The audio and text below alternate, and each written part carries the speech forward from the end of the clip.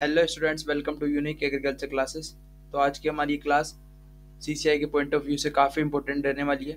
हम इसमें बात करेंगे इंपॉर्टेंट एमसीक्यूज की एग्रोमेट्रोलॉजी के। तो उससे पहले आप चैनल को सब्सक्राइब करें और बेल आइकन प्रेस करें ताकि आपको वीडियोस की नोटिफिकेशन है वो सबसे पहले मिले। तो चलते हैं हमारे फ़र्स्ट क्वेश्चन की ओर। तो हमारा फ़र्स्ट क्वेश्चन क्या कहता है?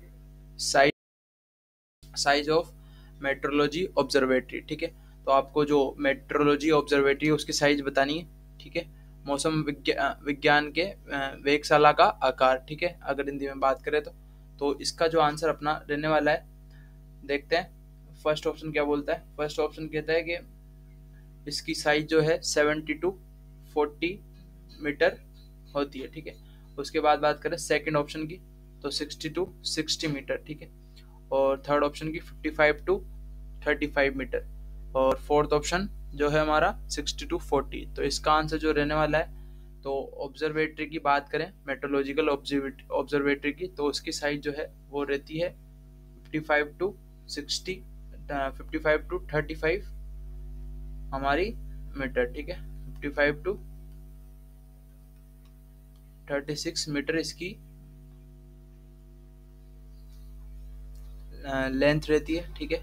अगर हम बात करें ऑब्जर्वेटरी की तो ये मान लो हमारी ऑब्जर्वेटरी ठीक है? ऑब्जर्वेटरी तो इसकी जो नॉर्थ नॉर्थ टू साउथ जो है हाइट साइज़ रहती है, वो 55 मीटर रहती है, ठीक है? और अगर हम बात करें east to east to west की, ठीक है? ईस्ट टू वेस्ट की बात करें तो इसकी 36 मीटर इसकी लेंथ रहती है, ठीक है? तो ये हमारी मेट्रोलॉजिकल ऑब्जर्वेटरी है। इसमें अलग अलग पैरामीटर जैसे कि हम बात करें एनिमामीटर की, विंड वैन की, ठीक है? रेन गेज की, इन, ये सब अलग अलग जगह होता है अलग अलग जगह प्रेजेंट होते हैं। ठीक है? अलग अलग जगह डिफरेंट डिफरेंट हाइट्स पे, ठीक है? आगे बात करेंगे, इसके बारे में ऑब्जर्वेटरी के बारे में। पहले चलते हैं नेक्स्ट क्वेश्चन पे। तो अगर हम बात करें ऑब्जर्वेटरी की तो अलग अलग क्लासिफिकेशन अलग अलग बेसिस पे दिया गया है। जैसे कि ये based on different types of instrument installed and the number of times observation in the day in a day ठीक है? मतलब जो इंस्ट्रूमेंट अलग अलग इंस्ट्रूमेंट जो हमने इंस्टॉल करे वो वो अलग अलग टाइम पे और uh, दिन भर में ऑब्जर्वेशन uh, लेते हैं ठीक है? तो क्लास वन टाइप ऑब्जर्वेटरी का अगर हम बात करें तो ये both reading both reading and self reading instruments इसमें इंस्टॉल्ड होते हैं ठीक है? और ये एटलीस्ट uh, चार वेदर पैरामीटर्स को ऑब्ज़र्व करता है। ठीक है? जैसे कि हम बात करें टेम्परेचर हो गया, ठीक है? विंड हो गया रेनफॉल हो गया और ह्यूमिडिटी होगी, ठीक है? तो ये सब पैरामीटर्स को ये क्या करता है? ऑब्ज़र्व ऑब्जर्वेशन करता है और उनकी रीडिंग्स को कैप्चर करता है, ठीक है? तो अगर हम बात करें क्लास वन ऑब्जर्वेटरी की तो ये दिन भर में तीन बार रीडिंग्स जो है वो लेता है। एक तो सेवन आवर्स पे, ठीक है?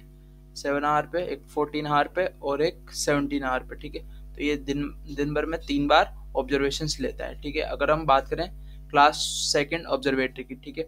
तो ये ओनली रीडिंग इंस्ट्रूमेंट इसमें प्रेजेंट होते हैं, ठीक है?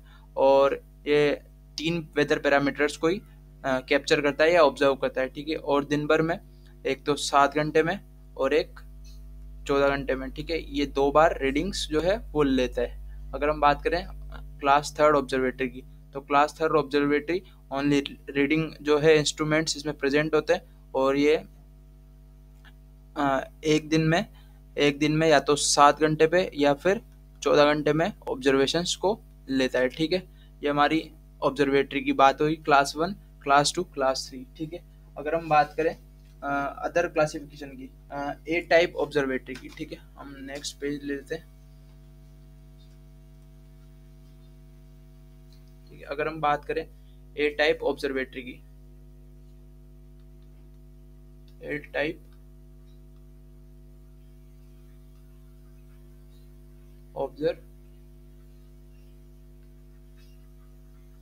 ठीक है ए टाइप ऑब्जर्वेटरी की तो ये हमारी कहाँ पे स्थित है? पुणे, महाराष्ट्र में, ठीक है? पुणे, महाराष्ट्र में, ठीक है? और अगर हम बात करें, ये एवरी थ्री आवर्स में every three hour three hours में रीडिंग लेती है या रीडिंग इसमें शो होती है, ठीक है?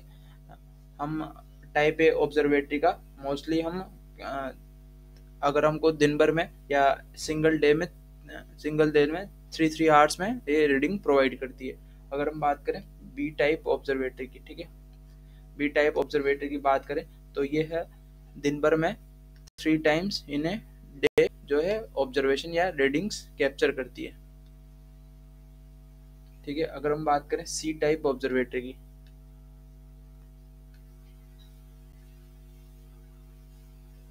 अगर हम बात करें सी टाइप ऑब्जर्वेटरी की तो ये हमें डिज़ीज़ और पेस्ट का जो अटैक है, उसके रीडिंग उसकी रीडिंग कैप्चर करती है और कितना इंसेक्ट पेस्ट का अटैक हो रहा है और कितनी डिज़ीज़ हमें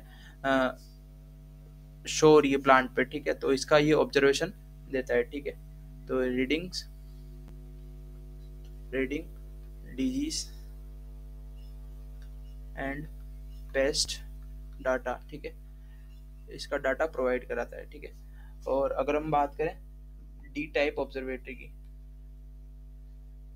D type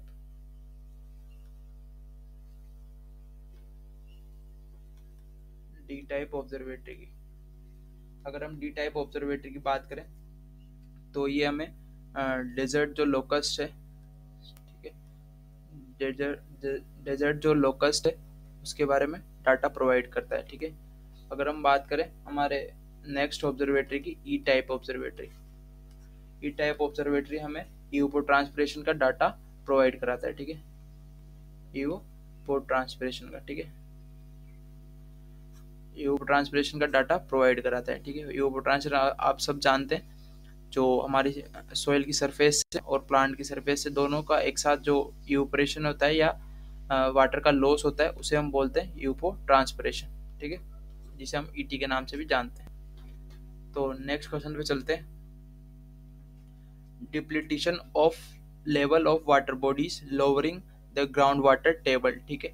मतलब जो हमारे जो जितने भी वाटर बॉडीज है, और अगर उनसे पानी का डिप्लीटेशन हो या पानी का लॉस हो, ठीक है? तो उस कंडीशन को अपन उस कंडीशन को या उस कौन सा टाइप का ड्रोट होता है, इस कंडीशन में, ठीक है? तो अगर हम बात करें फ़र्स्ट ऑप्शन की फ़र्स्ट ऑप्शन है हमारा एग्रीकल्चर ड्रोट सेकेंड है हमारा हाइड्रोलॉजिकल ड्रोट या फिर इकोलॉजिकल ड्रोट या फिर सोशो इकोनॉमिकल ड्रोट ठीक है? तो इन चारों में से आपको बताना है कौन सा ड्रोट जो है इस कंडीशन में डेवलप होता है। तो अगर हम इस कंडीशन में बात करें तो इस कंडीशन में हमारा हाइड्रोलॉजिकल ड्रोट जिसमें क्या होता है कि हमारी सारी वाटर बॉडी से पॉन्ड्स लेक्स वगैरह सारे जो सब कुछ है, वो सूख जाते हैं। तो इस कंडीशन में जो हमारा ड्रोट आता है, वो होता है हाइड्रोलॉजिकल ड्रोट अगर हम बात करें एग्रीकल्चर ड्रोट की तो एग्रीकल्चर ड्रोट में हमारा जो है अभी बात करी थी हमने ईटी की, ठीक है? यूपो ड्रोट यूएफओ ट्रांसपरेशन की। अगर इसको जो पोटे ये अगर यूपो ट्रांसपरेशन पोटेंशियल यूपो ट्रांसपरेशन पीटी से ज़्यादा हो जाता है, ठीक है? पीटी से ज़्यादा हो जाता है। और हमारी जो रेनफॉल है, ठीक है? रेनफॉल है रेनफॉल है, वो यूपो ट्रांसपरेशन को फुलफिल नहीं कर पाती तो उस कंडीशन में हमारा एग्रीकल्चर ड्रोट कंडीशन डेवलप होती है, ठीक है? इकोलॉजिकल ड्रोट की बात करें इकोलॉजिकल ड्रोट में जहाँ पे हमारा इंफ्रास्ट्रक्चर की कमी होती है। इंफ्रास्ट्रक्चर मतलब जैसे कि हमारे पॉन्ड्स हो गए टैंक्स हो गए, ठीक है? अलग अलग स्टोरेज जो हमारे, जो स्ट्रक्चर है, वो अगर अवेलेबल नहीं होते और हम रेनफॉल के वाटर को या रेन रेन वाटर को कैप्चर नहीं कर पाते, उस कंडीशन में जो हमारा ड्रोट कंडीशन आती है, वो है इकोलॉजिकल ड्रोट ठीक है? तो हमारे सारे ड्रोट के टाइप हो गया। नेक्स्ट वीडियो में बात करेंगे different type of droughts next question पे चलते हैं। तो हमारे अलग अलग टाइप के ड्रोट्स है, ठीक है? मेट्रोलॉजिकल ड्रोट ठीक है? और हाइड्रोलॉजिकल ड्रोट और अगर हम बात करें मेट्रोलॉजिकल ड्रोट की, अगर काफ़ी लंबे समय तक अगर बारिश नहीं होती है, ठीक है? या फिर जहाँ पे 75 परसेंट एनुअल रेनफॉल से कम बारिश होती है तो उस कंडीशन में हम बोल देते हैं मेट्रोलॉजिकल ड्रोट और अगर ज़्यादा लंबे समय तक मेट्रोलॉजिकल ड्रोट रहेगा तो उस कंडीशन में क्या हो जाएगा? हाइड्रोलॉजिकल ड्रोट का रूप ले लेगा और उसे हम बोल देंगे हाइड्रोलॉजिकल ड्रोट अगर हम बात करें एग्रीकल्चर ड्रोट की तो एग्रीकल्चर ड्रोट अपने बात करी इससे पहले और सोशो इकोनॉमिकल ड्रोट जहाँ पे मतलब मान लो, हम जो हमारा प्रोडक्शन कर रहे हैं, ठीक है, वो हम क्या कर रहे हैं कंजप्शन के लिए या फिर हम एक्सपोर्ट के लिए प्रोड्यूस कर रहे हैं, ठीक है? तो उसकी रिक्वायरमेंट अगर हम फुलफिल नहीं कर पाएँगे तो उस कंडीशन में हमारा सोशो इकोनॉमिकल ड्रोट होएगा, ठीक है? और इकोलॉजिकल ड्रोट की हमने बात करी सही, ठीक है? तो चलते हैं नेक्स्ट क्वेश्चन पे। अगर हम बात करें नेक्स्ट क्वेश्चन की तो कैपेन जो कैपेन का, कोपेन का क्लासिफिकेशन है, वो किसके बेसिस पे? वेजिटेशन के बेसिस पे या टेम्परेचर रेनफॉल के बेसिस पे या एनुअल रेनफॉल के बेसिस पे या मॉइस्चर इंडेक्स के बेसिस पे? तो आपको बताना है इन चारों में से कौन सा जो है, कोपेन का क्लासिफिकेशन है, किसके बेसिस पे क्लासिफिकेशन है? तो अगर हम बात करें कोपेन की तो कोपेन का जो क्लासिफिकेशन है वो टेम्परेचर और रेनफॉल के बेस पे इसको डिवाइड किया गया है, ठीक है? और अगर हम नेक्स्ट क्लासिफिकेशन की बात करें तो अलग अलग साइंटिस्ट ने अलग अलग क्लासिफिकेशन दिए अलग अलग बेसिस पे, ठीक है? तो अगर हम बात करें, डी कैंडले ने लीड कैंडले ने वेजिटेशन के बेसिस पे इसको क्लासीफाई किया क्लाइमेट को, और कोपेन ने अपनी बात, अभी अपन ने बात करी टेम्परेचर और रेनफॉल के बेसिस पे।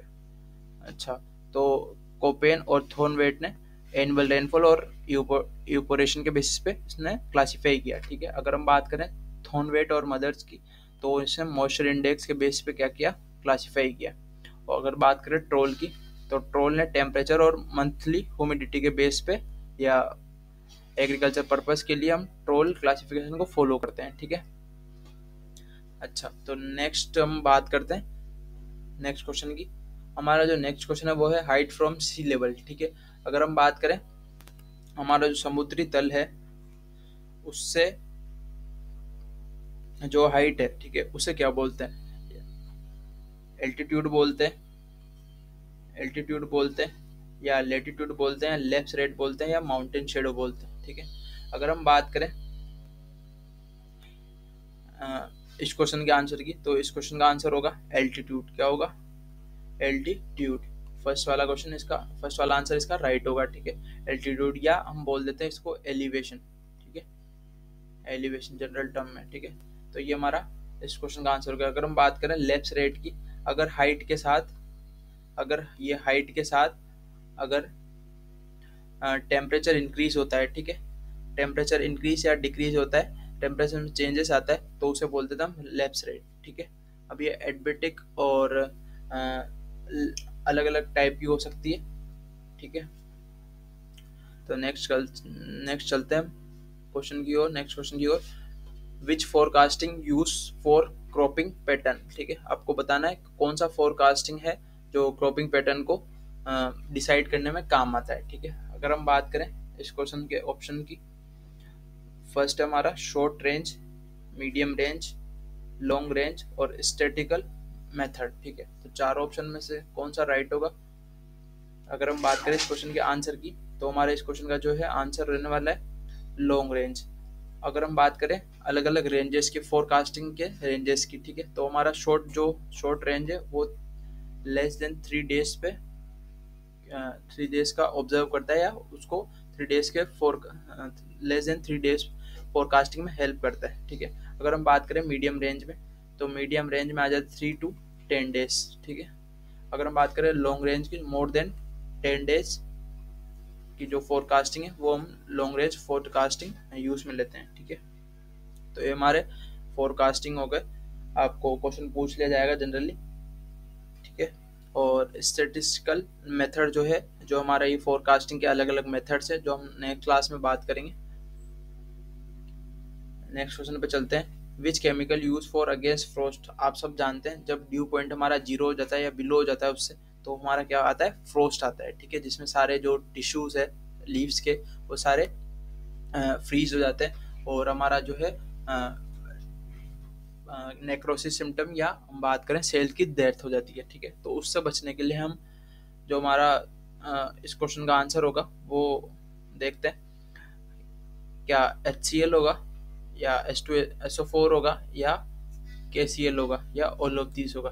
तो इसका जो आंसर रहने वाला है, वो आप सभी को बताना है क्या रहने वाला है, ठीक है?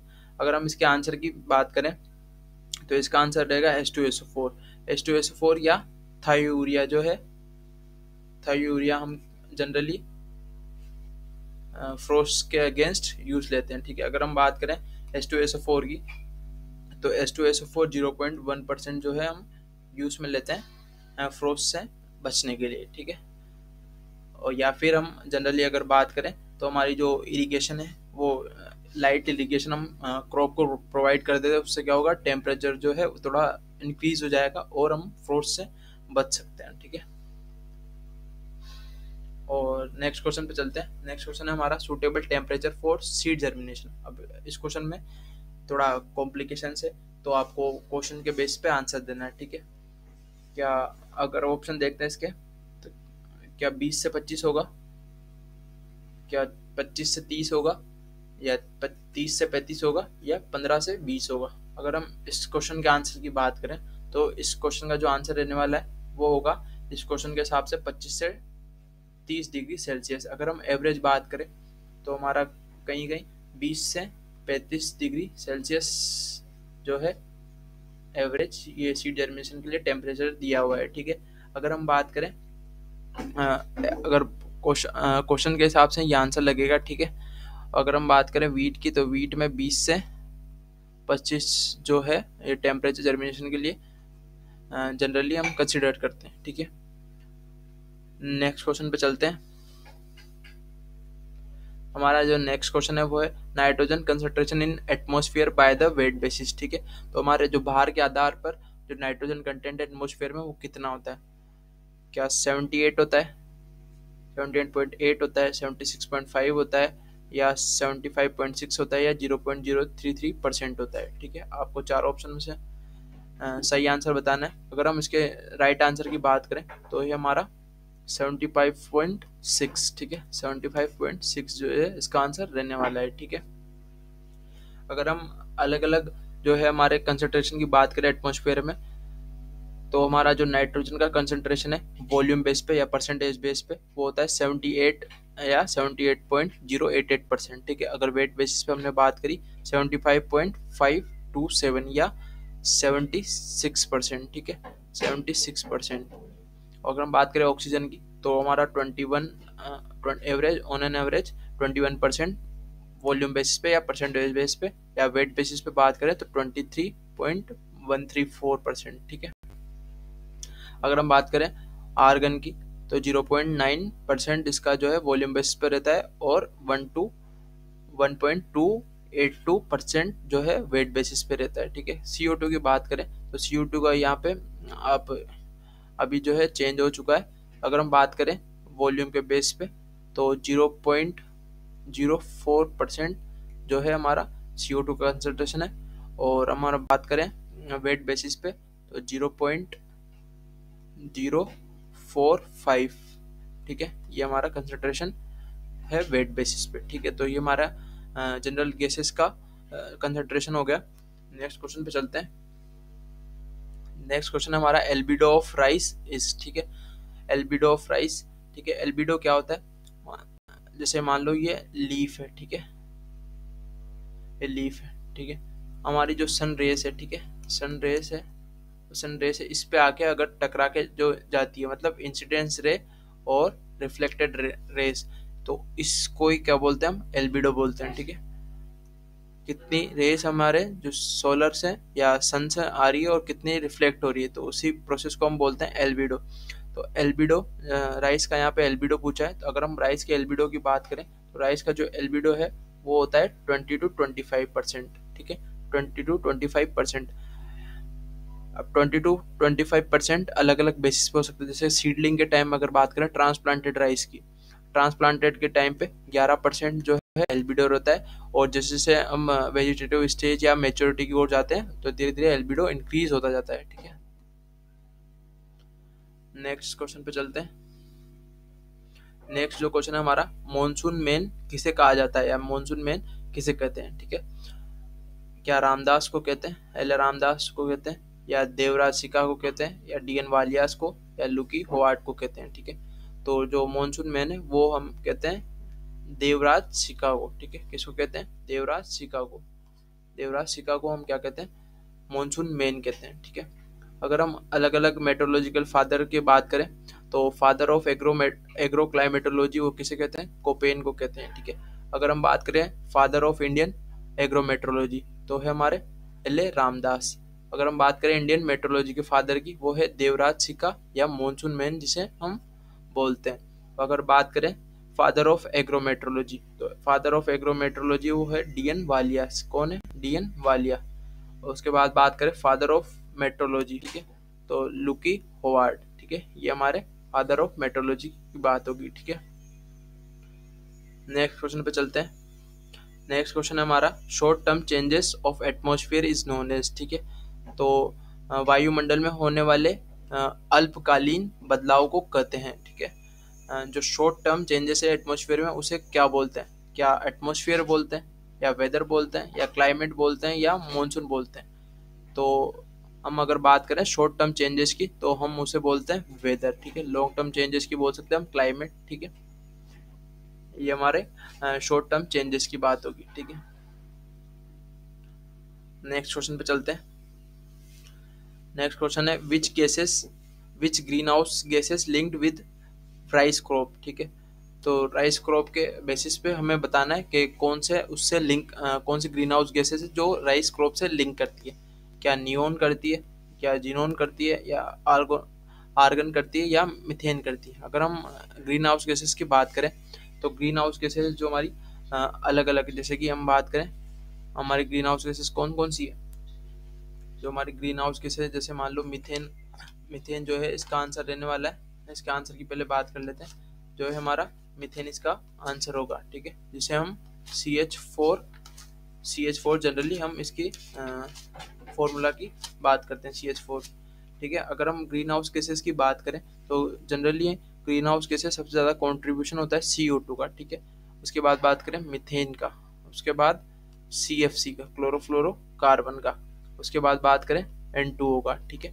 ये हमारी ग्रीन हाउस गैसेज जो है, वो है कंट्रीब्यूशन होता है, ठीक है? इन गैसेस का ग्रीन हाउस गैसेस में।